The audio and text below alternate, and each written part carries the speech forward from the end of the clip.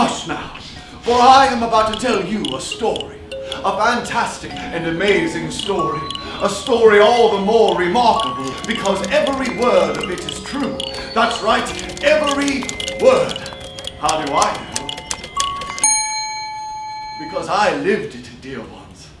Gentle boys and girls, kind men and ladies.